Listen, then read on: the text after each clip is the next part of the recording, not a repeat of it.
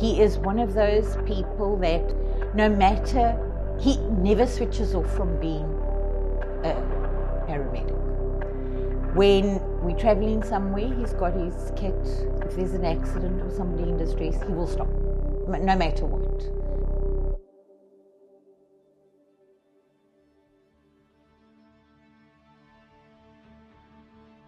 I was on my way back from Stellenbosch on the R44, just after the Mooiberg intersection.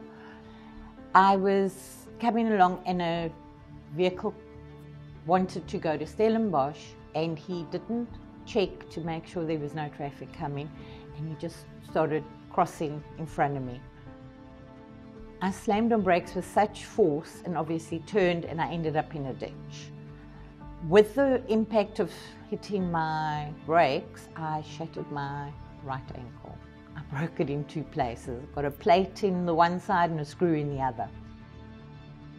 The initial phone call was a shock. Um, I was still, I just handed over a patient in my control room um, called me and to say that they had Victor on the line and I thought it was a bit strange because um, he's a good friend of mine, good colleague. Um, but you know, why would he be phoning through the control room? So really, something didn't feel right. Um, and then when he told me, sorry, I just have a moment.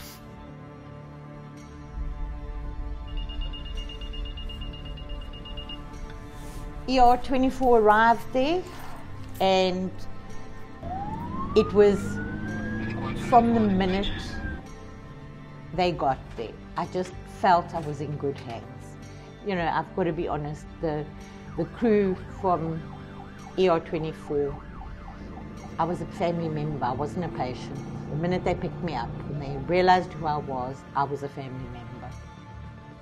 I mean, we get called out from a tummy ache to a cardiac arrest. And Obviously, you don't want to be panicked if everyone else is panicked, so you, do you try and stay calm, focus on that, take in what's going on around you. Um, it's a lot of information to try and absorb, um, and then from there you start planning or strategizing what you're going to do, what processes you're going to follow, um, and then guiding those around you to put those those in place, um, and then start your treatment. So to know that she was in safe hands. That, that was a big help and a, and a big relief, knowing that everyone else here was, was looking out for her as well. This is a very busy season. We see a lot of road accidents come in this, this time period. Reasons for, for car accidents are varied. A lot of the times, some circumstances, it's not your fault. You're an innocent bystander that gets caught up in somebody else's bad decisions. Remember, when people are coming into the unit, it's a foreign environment. They are going through an emotional crisis because even if it's a uh, fractured toe, that's scary and it's painful. So when somebody comes into a unit, we need to explain to them, okay, this is the process that we are going to go through so that they're not freaking out and understand what is the next step. He's got an excellent crew around him and they will, they, they, I do believe they would be able to go to war together scenes, you know, we draw on each other's experiences and strengths and all of that to come together to actually just help the patient. I think that benefits the patient very much.